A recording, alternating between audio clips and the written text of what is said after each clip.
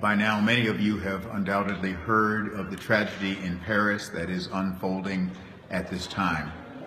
I do invite all Episcopalians and people of goodwill and faith to pray for those who have died, those who may be in harm's way, those who seek to help in any way, and to pray for us as a human family. But I would ask you to join with me now in prayer praying the prayer that Jesus taught us to sum up all of our prayers.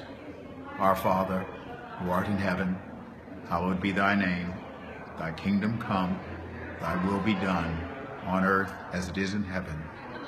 Give us this day our daily bread, and forgive us our trespasses, as we forgive those who trespass against us.